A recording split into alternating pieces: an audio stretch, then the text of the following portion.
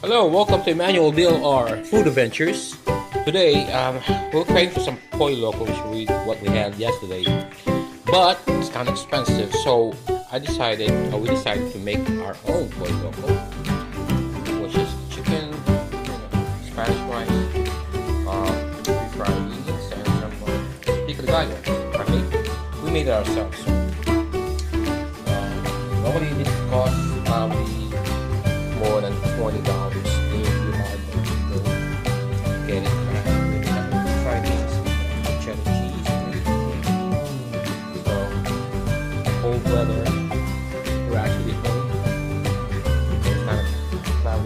So this is what we made: the chicken and uh, pollo loco style, and it's worth about twenty to twenty-five bucks if you only get the amount of food plate is probably eight dollars plates.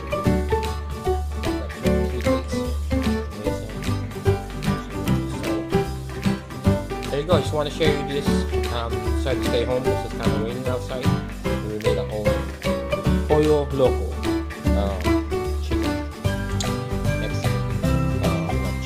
lunch. All right, all right. Hope you enjoy it.